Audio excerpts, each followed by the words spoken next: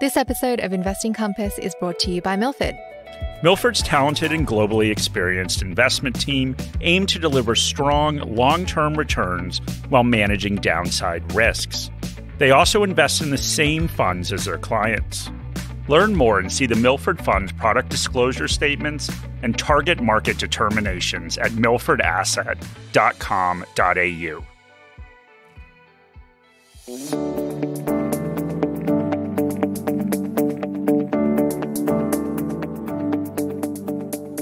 Welcome to another episode of Investing Compass. Before we begin, a quick note that the information contained in this podcast is general in nature. It does not take into consideration your personal situation, circumstances, or needs.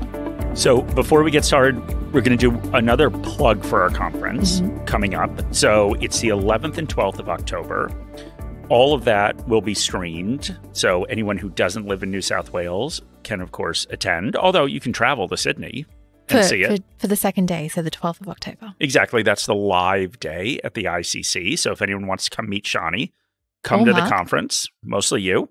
Uh, and if anyone has any questions about the conference, you can send me an email. My email address is in the episode notes, and there's a link in there, mm-hmm, I think, register. as well, to register for the conference. So we think it's a great day. Shani did a great day, a great job on the agenda. So, yeah, come here some market insights from people at Morningstar and some great external speakers as well. Perfect. All right. Good pitch. Thank you. so let's get started. So today, Shani, we're going to talk about debt. So, how do you feel about debt? Um, I'm not really a big fan. Yeah, I mean, I'm not a big fan either, but today we're going to talk about the implications of debt on investors. But first, we need to do a little bit of foundational work around debt because sometimes people forget about this. And all debt lowers future standards of living. It's a self imposed tax on future earnings. And that's true for individuals, but it's also true for companies and it's true for governments. So, no matter what, you need to start out thinking debt is a negative. And anytime an individual, a company, or a government decides to take on debt, it should be because something positive is supposed to come out of it right? It's supposed to counteract the negative part of debt. So if an individual goes into debt, it should be because whatever the debt pays for, and it could be education that will result in higher future earnings. It could be for an asset like a house that you believe at some point is going to make a positive financial impact on your life. What whatever it is, you need to make sure that that positive, of course, counteracts the negative of debt. A company should believe that what is being funded by the debt, perhaps a new project, is going to result in re- returns that exceed the cost of the debt so shareholder value is created. And debt can amplify returns. So buying a house that appreciates in value will earn a higher return if it's funded by debt rather than just purchasing that house for cash. And same thing if debt is taken out to invest in the share market and it goes up in value. And this amplification of returns that debt provides can become addictive. Want a more expensive house? Take on more debt. Want to try and grow earnings faster? Take on more debt. Want to fund more infrastructure projects and create more jobs? Take on more debt. And what fuels this addiction is low interest rates, because low interest rates makes the hurdle rate for an investment lower. To make a positive impact on the future means earnings returns need to exceed the interest rate paid. So it's easier to exceed the cost of debt at an interest rate of 3% than at 6%. The other thing that feeds this addiction to debt is the availability of debt. Because you don't necessarily have to pay off debt, you can pay off old debt with new debt. So, in theory, as long as you can continue to issue more debt, you will never default. And that ability to borrow in the future, especially if you can borrow cheaply, means you never have to make hard choices. And those two conditions we just talked about as enablers for an addiction to debt were both in place for a long time. In reality, since interest rates started dropping in the 80s, but of course, this was turbocharged since the GFC with a last bit of petrol thrown on the fire during COVID. And predictably, we borrowed and borrowed and borrowed. Individuals, companies, and governments all kept borrowing.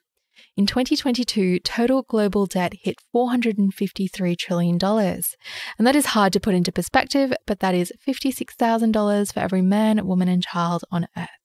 And we often measure debt as a percentage of GDP.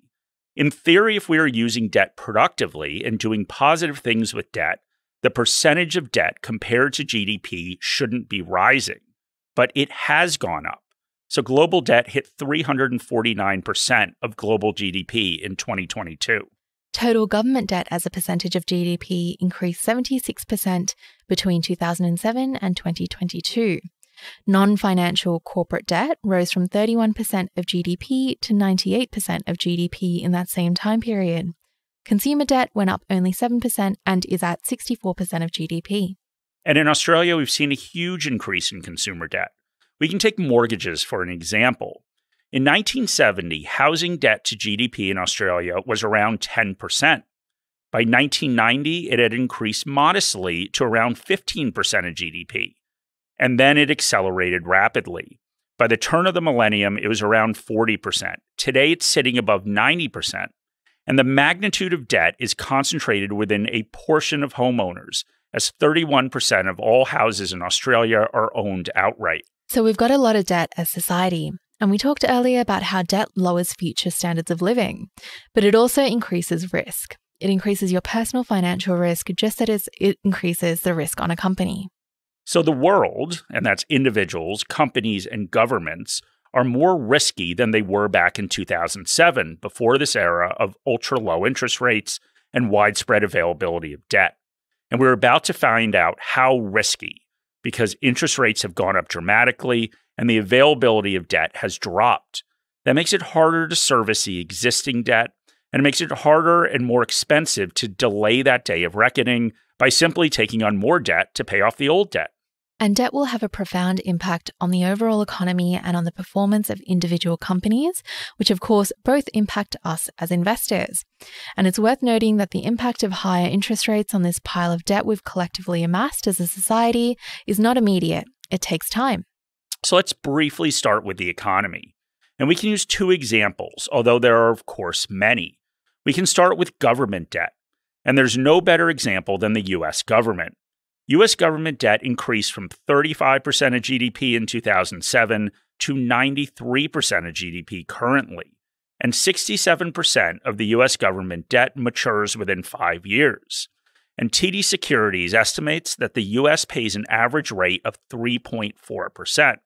Well, current rates are higher than that, meaning that more money from the US government will not go to supporting the economy, it will go to paying off debt. And it also means that tax cuts are less likely and the options for fiscal stimulus are less likely, which means that there are less levers for the government to stimulate the economy. And there were some boosts to the economy that we saw with Trump's corporate tax cuts through the direct payments to US taxpayers during COVID and of Biden's spending bills. And of course, inflation also, in theory, limits things governments can do. But of course, politicians tend to not take that into account when their political future is on the line. The next big impact of debt is on consumer spending. Heavily indebted consumers are able to spend less if more of their salaries are going to pay off debt. And this is what we're seeing in Australia. As we mentioned earlier, there have been a huge jump in mortgage debt in Australia as a percentage of GDP. And as everyone knows, the increase in interest rates is directly impacting Australian consumers. In the past year, consumer spending has dropped in New South Wales and Victoria. And the fact that consumer spending is dropping, even as the population is growing, and inflation makes everything cost more, gives us a sense of how much some households are hurting. And what we've really seen with spending patterns is a bit of a bifurcation across generations. As we discuss mortgage debt as a percentage of GDP, it has skyrocketed, but at the same time, almost a third of Australians have paid off their house.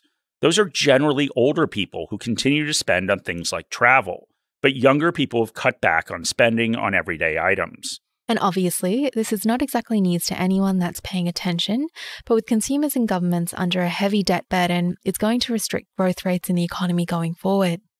In Australia, 22% of GDP is government spending, and consumer spending makes up 48% of GDP. And we saw this impact in the intergenerational report released in late August. The report cited debt and forecast GDP growth of 2.2% for the next 40 years. That is 40% lower than the growth in GDP in Australia over the previous 40 years. And this isn't a great environment for a company to operate in. Lower growth matters because it's a tailwind to company profits. But of course, companies have also taken on a lot of debt and are facing higher costs of debt going forward. So the first thing we should look at is zombies. So, what do you think of zombies, Shani? Uh, I can't say that I spend a lot of time thinking about zombies, Mark. Okay. Well, these are not the zombies from movies. Okay. So we are talking about zombie companies here. And a zombie company is a company that doesn't generate enough cash to pay off the interest on the debt that is taken out. And this seems like an impossible situation, but these are the very companies that have used the widespread availability of debt to s- simply continue to roll over debt. In other words, they have used new debt to pay back old debt. And in theory, there is a reason why a company would do this. A company may be borrowing money to invest in growth, which just hasn't materialized yet. That is a theory, at least. They may not be able to cover their debt today, but hopefully future earnings would do that. But it assumes that the earnings would appear at some point. But higher interest costs mean that even more growth is needed to get to that point. That is what we talked about earlier. When a company is borrowing at 3%, the return hurdle is lower than when a company is borrowing at 6%. And if we turn our attention to the US, we can see that even though the economy is still strong, there's low unemployment and a fair amount of growth, we still see a spike in defaults and bankruptcy filings by corporate America. Bankruptcy filings in the US are on track for the highest level this year since the GFC, according to the AFR. And the GFC was, of course, a time when the economy was doing terribly. The fact that bankruptcy filings are up when the economy is strong doesn't bode well for the predicted slowdown of the economy. And Coolabah Capital keeps a zombie index, which tracks the proportion of companies that are in this situation where they don't earn enough cash to pay their interest. And using data from 2022, they estimate that 10 to 15% of companies in Australia, the US, and Europe are now zombies. And this is up from an estimate of 4 to 5% a decade ago. And they point out that this is data from 2022 before the impact of interest rate increases had truly been felt. They say this is clearly a high proportion of companies that meet this zombie criteria. Which certainly is not good news for investors. So we painted quite a picture, but the real question is what can investors do? Well, the first thing an investor can do is pay attention to debt levels. We want to avoid these heavily indebted companies that will either not make it or will be so restricted by their debt burdens that they won't be able to invest to grow earnings. And that brings us back to the balance sheet. So look at debt ratios. On the extreme side of things, look at things like the interest coverage ratio, which shows how much, if any, earnings cover interest payments. If it is negative, you are looking at a zombie. But even if the coverage ratio is positive, the margin matters because it shows if a company will be able to keep spending to grow the business, and if that coverage ratio may disappear as the impact of higher levels of interest rates work their way through the company's debt. And if you don't want to spend your time digging through a balance sheet looking at total debt, you can let others do this screen for you. We've talked about the quality factor before. There are ETFs such as the VanEck ETF with the ticker symbol QUAL or QUAL, which has quality screens which include the financial condition of the company as a measure. You can also look at our analyst assessment of the balance sheet, which is measured in the capital allocation rating. And this takes a bit of a mindset shift for many investors. We've been very focused on growth as investors. And when debt is cheap and funding is readily available, it makes sense to focus on growth. But in this current environment, financial strength and financial flexibility is critical. And it's critical not just to find companies that aren't going to go under, it is also critical because a company with strong finances should be able to take advantage of an environment where desperate companies are going out of business or are forced to sell off assets to simply stay in business. And we can look at commercial property as an example. This is a sector that on the surface is in a lot of trouble. Money was borrowed cheaply to purchase assets like buildings, but as debt costs have gone up, the yield that they're earning on that debt through rent has all of a sudden disappeared. That is because of higher interest rates, but also because of issues like low occupancy. And a lot of these owners of commercial property are in trouble as the value of the buildings go down as higher interest rates have dropped valuation levels. This is where we can see a drop in net tangible assets, or NTA, which is the value of buildings going down as the debt levels of the assets go up. Many companies have been slow to mark the value of their buildings to market and don't want to sell because lower prices will indicate how much asset values have fallen. This means that once that forced selling happens, and some of it will be forced because of cash flow issues and debt covenants that govern ratios of debt to assets, there will be bargains out there if there is enough financial flexibility to take advantage of them. So, this all sounds very scary, Mark, and I'm sure a lot of investors are thinking perhaps it's time to sit this thing out as we start to see increases of interest rates work their way through the economy. I'm sure that is a reaction, but it's also important to remember that things can always seem scary. There are great companies out there that will use this period as an opportunity to grow and pick up cheap assets. But more than anything, this is a reminder that fundamentals matter. Companies that have discipline in borrowing, low debt levels, and prudent investment approaches are always investors' best friends. Even during crazy periods like what we've just experienced, when it seems that debt fueled growth are all that matters. Quality always matters, even if there are periods that it's a bit of an anomaly when it seems boring and underperforms. And it's important to remember that the period from the GFC through COVID was not a normal economic period. The level of interest rates was historically low, and the traditional relationship between low interest rates and inflation was temporarily severed. We are getting back to normal interest rate environments now, and governments, companies, and consumers who took on too much debt are in trouble. But not everyone did that. As investors, we need to find companies that did not succumb to the addiction of debt. All right. So that's our debt podcast and zombie podcast. Mm. Hopefully, there'll be no zombies at our conference, but the only way to know that is if you come yourself and buy a ticket and find out. So we hope to all see you there on October 12th in Sydney. Want to give your portfolio an offensive and defensive strategy? Check out the award winning Milford Australian Absolute Growth Fund. Utilising the skills of Milford's experienced investment team, the Milford Australian Absolute Growth Fund has been focusing on delivering a smoother journey for investors for over half a decade. With an emphasis on managing risk and generating absolute returns, this lower volatility equity fund can play a key role in a diversified portfolio. The fund strives for long term capital growth while mitigating the ups and downs typically experienced when investing in share markets.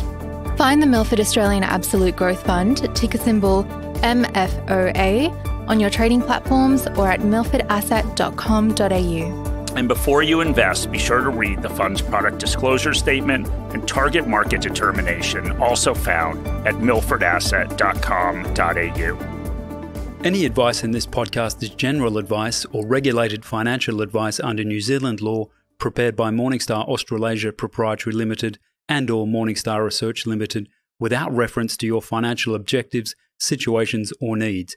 You should consider the advice in light of these matters and any relevant product disclosure statement before making any decision to invest. To obtain advice for your own situation, contact a financial advisor.